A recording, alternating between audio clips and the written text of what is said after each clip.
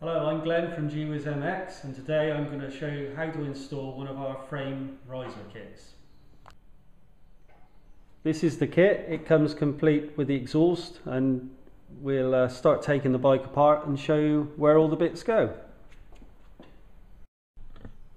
First of all we need to remove the, the seat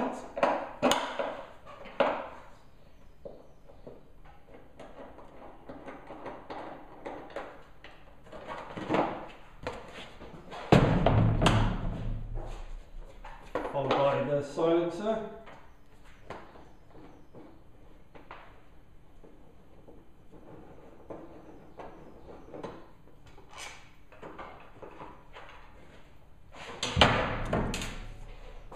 Radiator covers.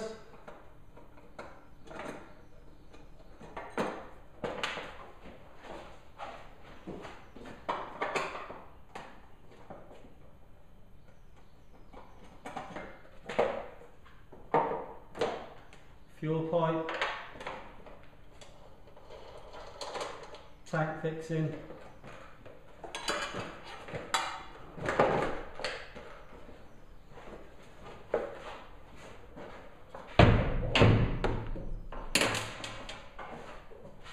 we need then to loosen the, the boot on the back of the carburetor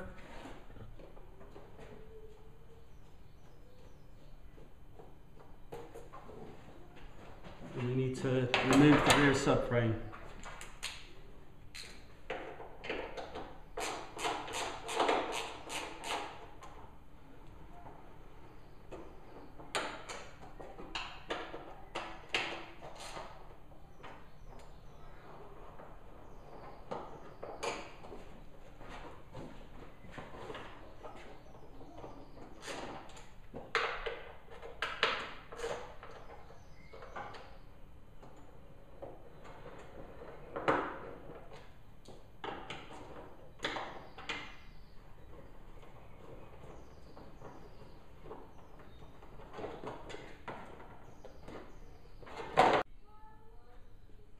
Fits in a nylon block and a tank sleeve.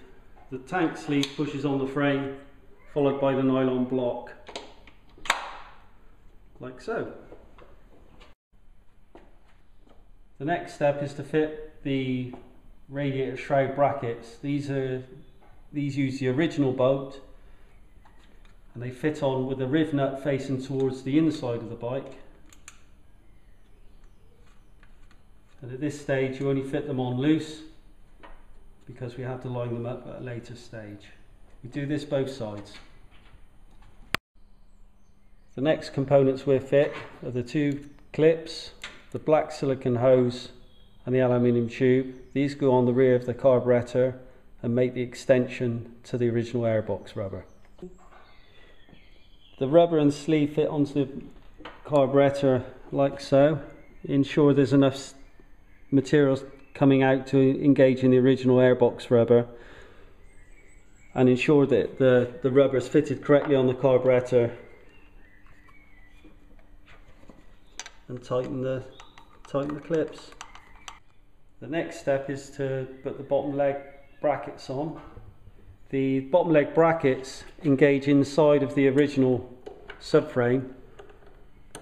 You push them, push them firmly up sometimes they're very tight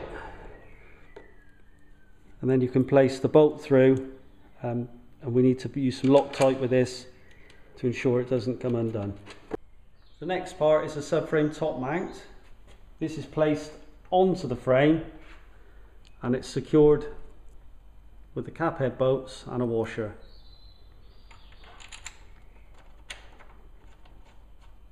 These should have Loctite on them when final fitted, but we're going to just leave it loose for the moment while we do a setup on it. Now we need to install the subframe unit. We use original bolts that connect to the top mount.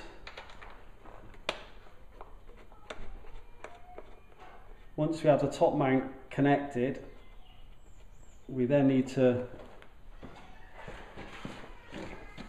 bring the the legs down whilst aligning the air cleaner rubber onto the new aluminium tube. Once the air cleaner rubber is installed, then we put the bottom leg bolts in. We assemble everything just pinch tight at the moment so that we can check everything's settled and aligned as it should be. At this stage, we can now tighten these bolts here with Loctite. We can tighten the original bolts with Loctite. The bottom legs, we can tighten the air cleaner rubber, ensuring it isn't fouling anything and that you're happy with the seal and the fitment. The next job's on the fuel tank and it's the fuel tap. As it is originally, it hits the frame whenever you take it off and also with the lift kit on, it will foul the frame. So we need to we need to fit this item here, which will resolve the problem and give it the correct position to stop it interfering with the frame. Right, first of all we need to remove the original fuel tap which are held in with two self tappers.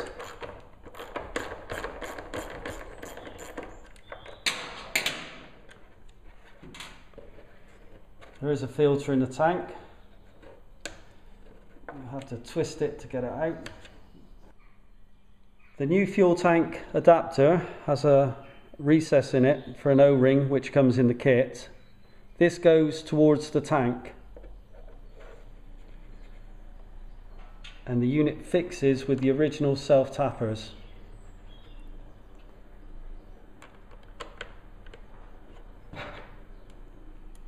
Be careful when tightening them, not to over tighten them because they're only into plastic on the tank.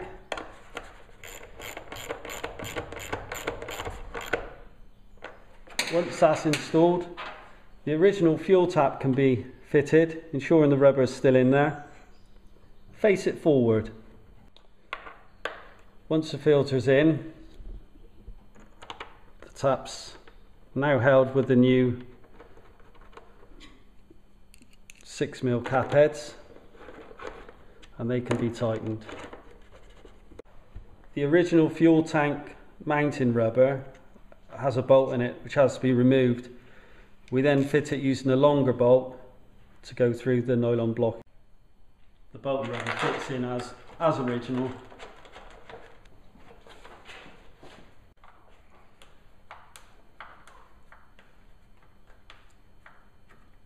done up as you would on the original. We then fit the fuel pipe and the carburetor.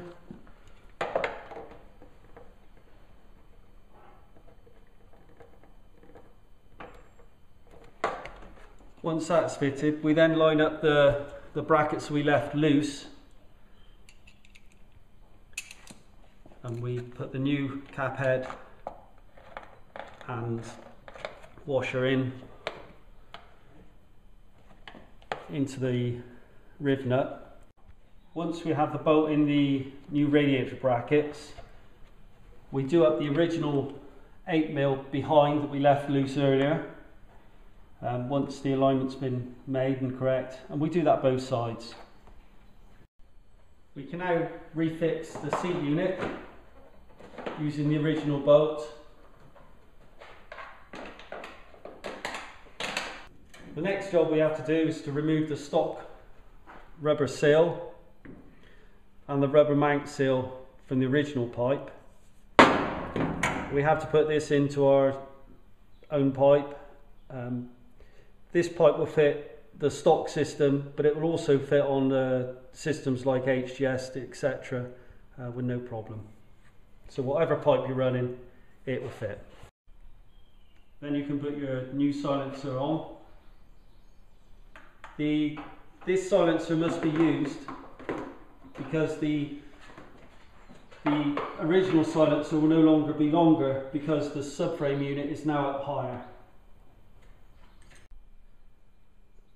Once you've completed the job, such as this, be, be sure to tighten all the nuts and bolts, double check everything, and periodically as you're using the machine, just give them a spanner check as you probably do on all the rest of the bike anyway. But just pay a bit of attention to it just for a few uh, for the first few times on it. The another good tip to do as well is if you're ever removing the rear subframe unit later, it's always best if you undo the the bolts from the original points, i.e. where the subframe meets the frame is the best point to undo rather than undoing it all in the aluminium work all the time. Um, it lasts a lot longer if you do it that way. Anyway, hope you enjoyed the video. Thank you very much. And we have some other products for the 65 KTMs and the 85 Husqvarna and the 85 KTMs as well. Um, take a look at our shop www.gwiz.mx. It's all on the website. Thank you.